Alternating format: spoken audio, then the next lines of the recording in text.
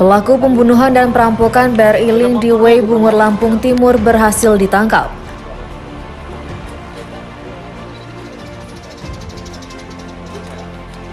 Namun pelaku yang diketahui bernama Afdian Saputra diketahui berasal dari Lempiung Oki, Sumatera Selatan tewas saat ditangkap.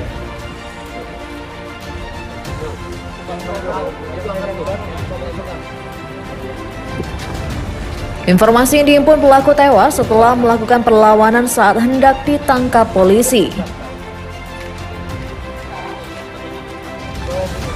Polisi terpaksa melakukan tindakan tegas terukur saat melakukan penangkapan tersangka.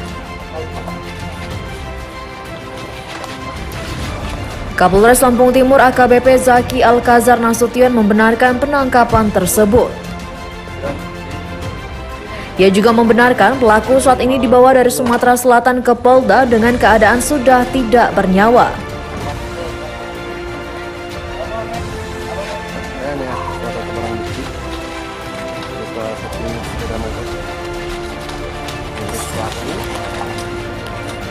Diberitakan sebelumnya seorang karyawati BRI Link tewas karena ditembak pelaku perampokan.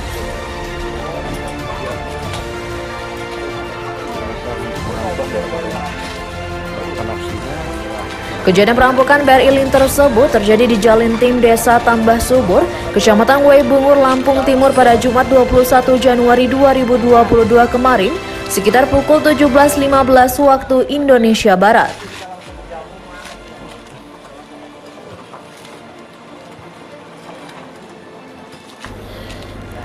Karyawati BRI Link yang meninggal dunia tersebut berinisial LA.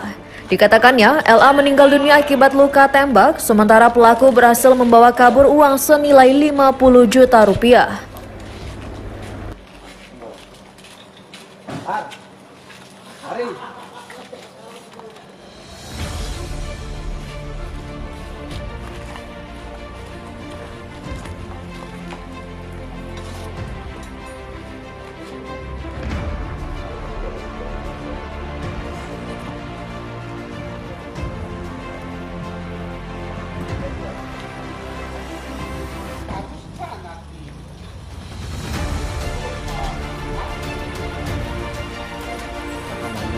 やってみま